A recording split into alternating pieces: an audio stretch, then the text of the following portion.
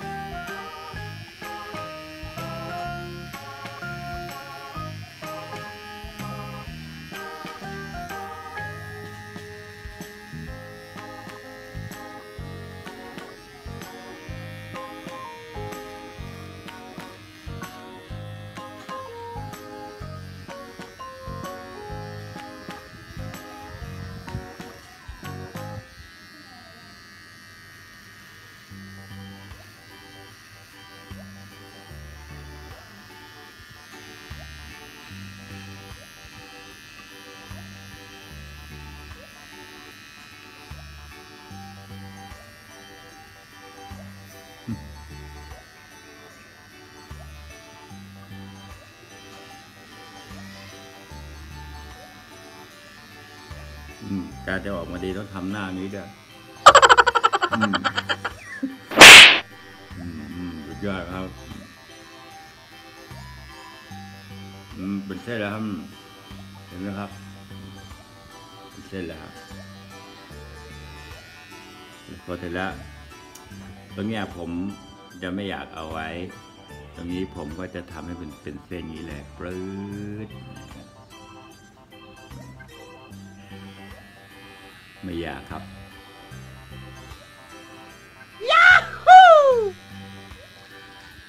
เอาออกไปเลย เอาออกไปเลย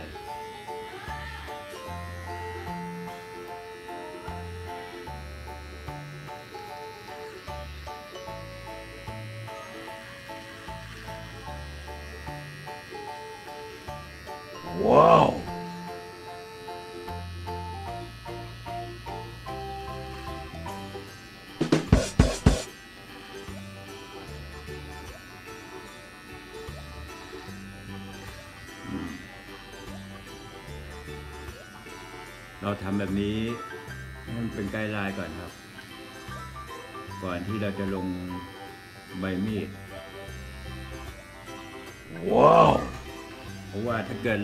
โกนเลยอะเจ็บ คนหนวดยาวจะรู้ครับ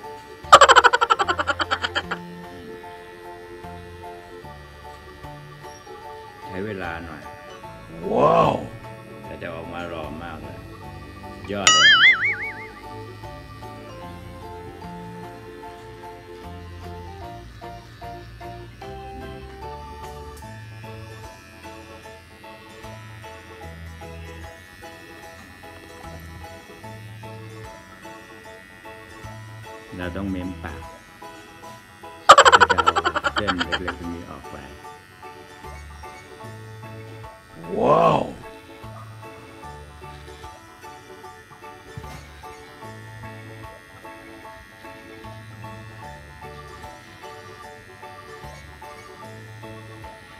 ต้องทำหน้าอย่างนี้ด้วยนะฮะถึงจะออกกันได้ดียาฮู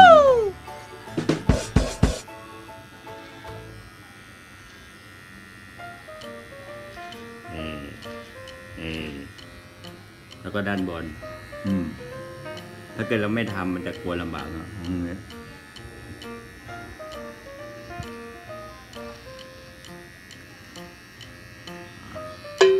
เป็นไกด์ไลน์ก่อนฮะ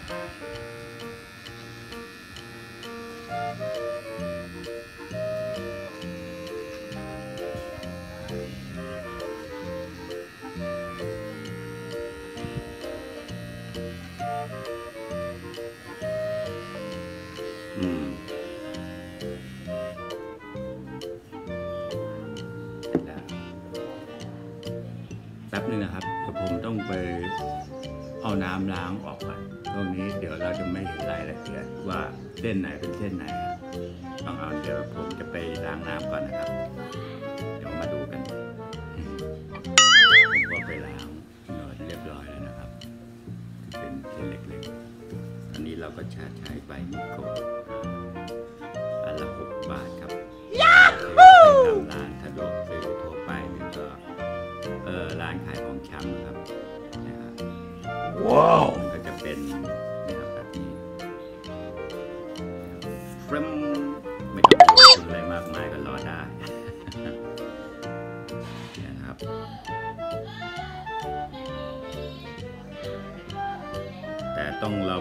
มัดระวังหน่อยนะครับ เพราะว่าด้านมุมนี้กับตรงนี้มันเราอย่าไปติดมันมาก เดี๋ยวจะเกิดรอยบาดแผลจะมาดูกันครับว่าวิธีการกันเป็นยังไงการกันหนวดครับมาแล้วครับ ผมก็เอาสบู่มาทาเพื่อให้มันหล่อลื่นนะครับ ถ้าเกิดเราไม่ทาฝืดเจ็บครับเดี๋ยวผมจะทำให้ดูแล้วครับ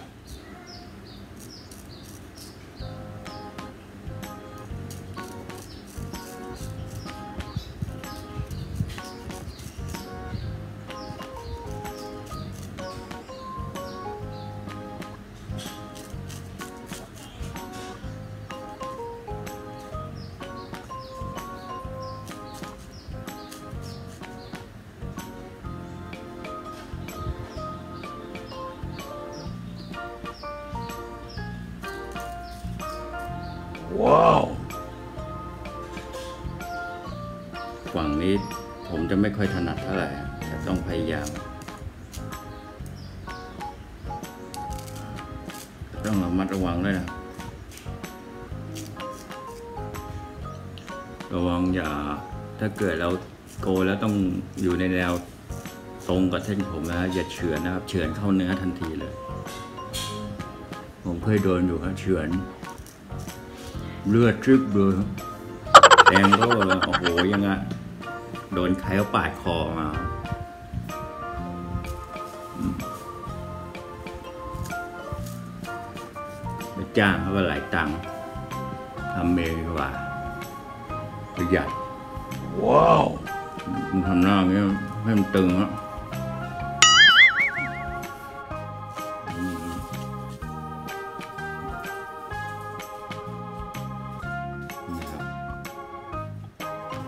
อันนี้เราก็จะมาโกน มุมนี้ มุมนี้ มุมนี้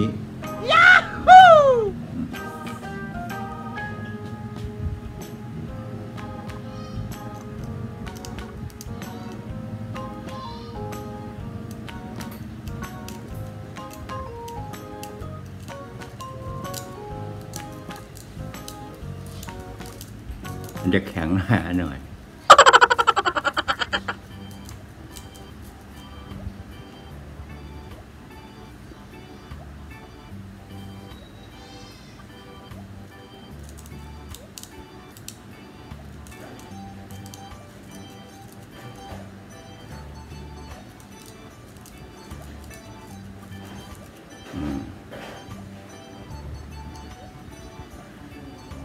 ก็ฝั่งนี้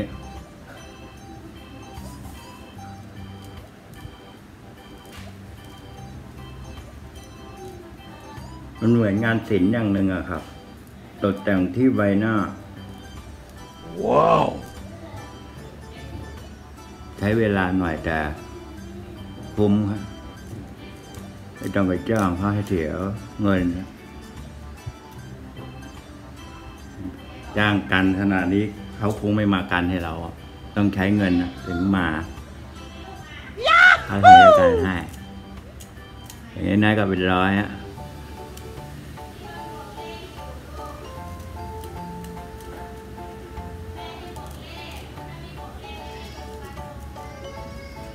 อย่างช่างที่กันของโทนี่ทาตาก็น่าจะหลายบาทด้วย ว้าว แต่เราไม่ต้องถึงขั้นนั้นนะครับแต่ผมที่ผมไม่ได้มองกล้องเพราะว่า ผมจะมีกระจกใหญ่อีกกระจกหนึ่งที่อยู่มุมนี้นะครับ เพราะว่าผมมองตรงนี้ผมจะไม่ค่อยชัดเท่าไหร่มันมองที่หน้ากล้องออกจอเนี่ยมันจะไม่ค่อยเห็นรายละเอียดเท่าไหร่ครับ ผมต้องมองกระจกผมจะอยู่มุมตรงนี้ครับผมอาจจะเล็งไปทางนี้ด้วย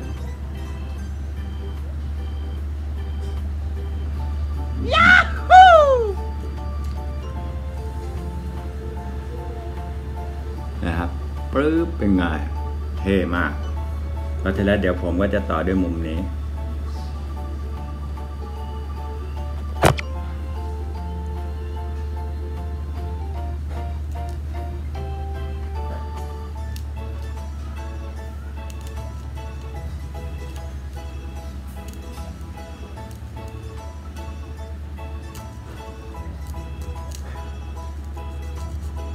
แล้วเอาสิ่งที่ไม่จำเป็นออก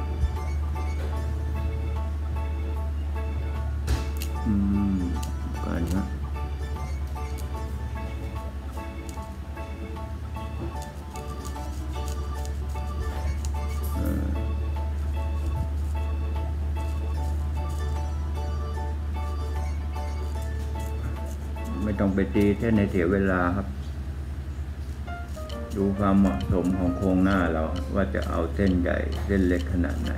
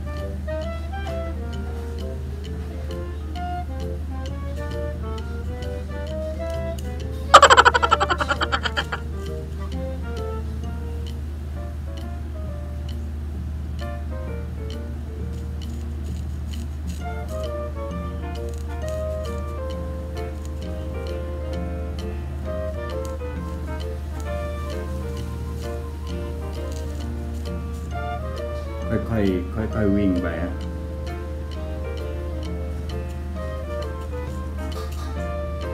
สิ่งสำคัญคืออย่าไปกินเหล้ามากครับมือจะสั่นมือสั่นแล้วนี่กรีดไปกรึบเลือดสาดนะครับตอนนี้ผมก็เริ่มเป็นเส้นละแต่ตรงนี้ผมมันจะไม่ค่อยดีเส้นเขาเท่าไหร่ครับผมจะเยอะช่วงนี้ แล้วก็มาตามเก็บฝั่งนี้เลย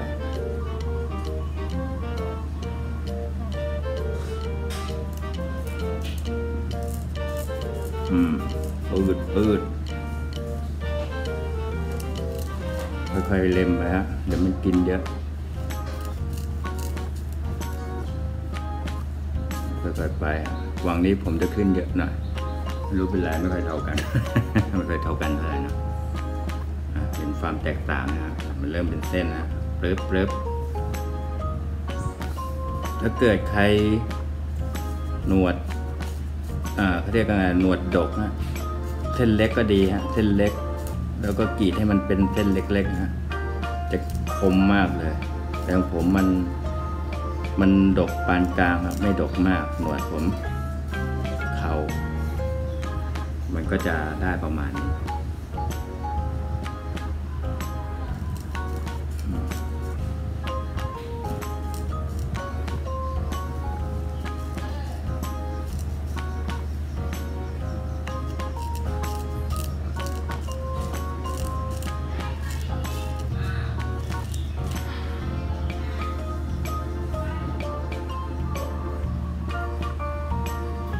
ฟองนี้จะยากหน่อยยากมากเลย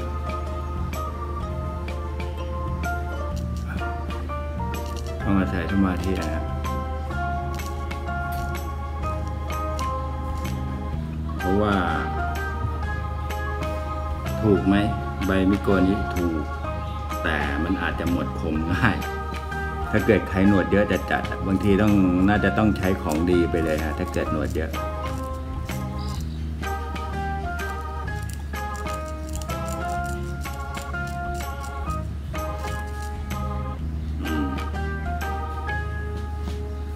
ส้นแล้วนะครับ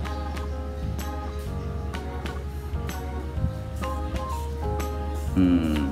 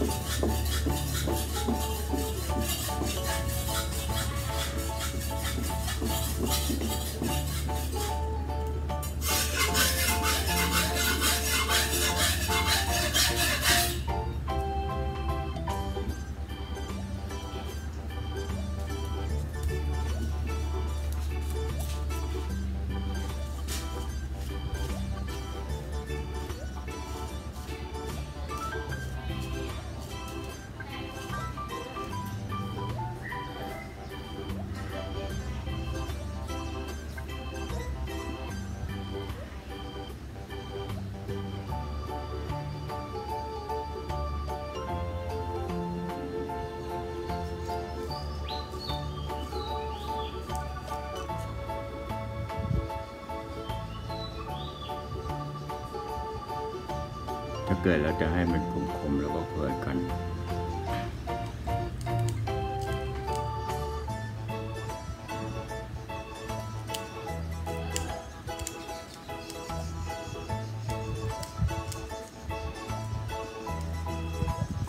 อืม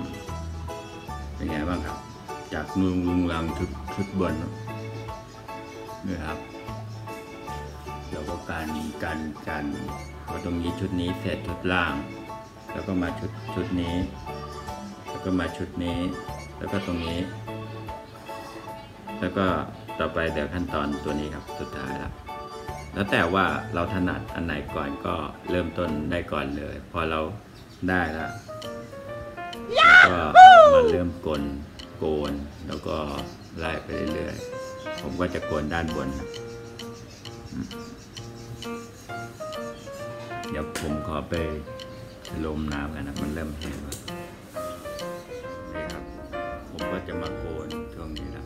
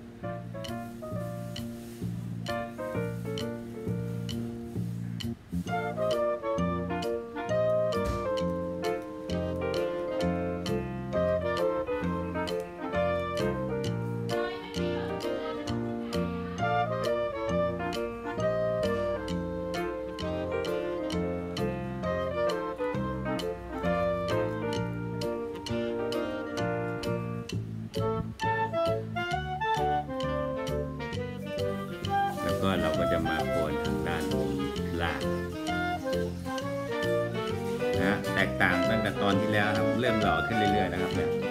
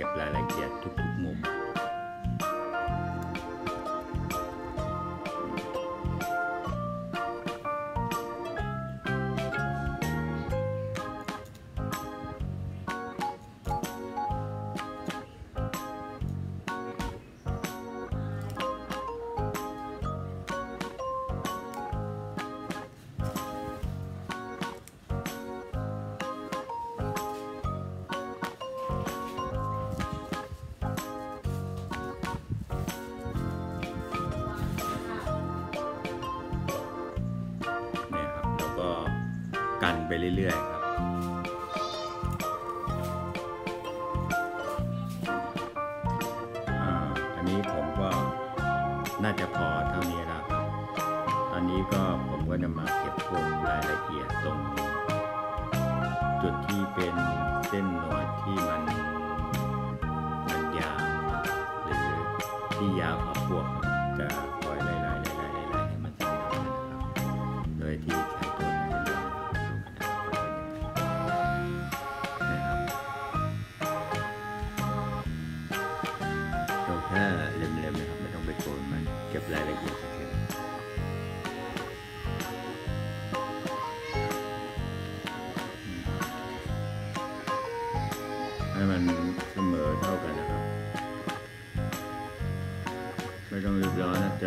นะ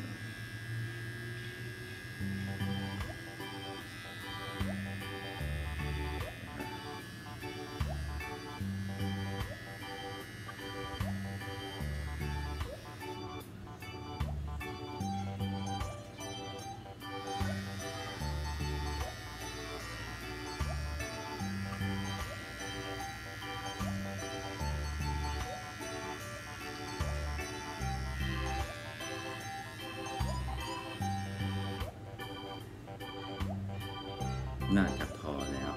เพราะว่าผมไม่ต้องการเอาเส้นเล็กกว่านี้ครับ เส้นขนาดนี้กำลังดี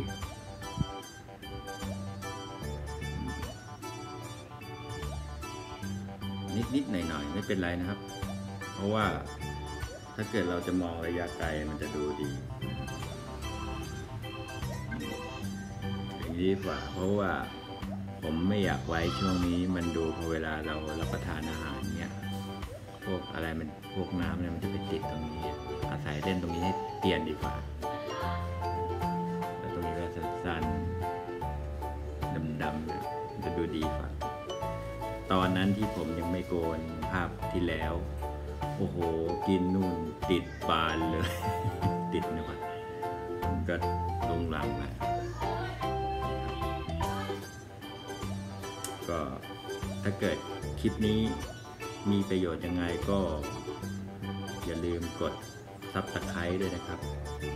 กดติดตาม กดแชร์ กดกระดิ่งครับ แล้วก็ถ้าเกิดคลิปนี้เป็นประโยชน์นะครับ ก็ขอบคุณมากเลยนะครับ สวัสดีครับ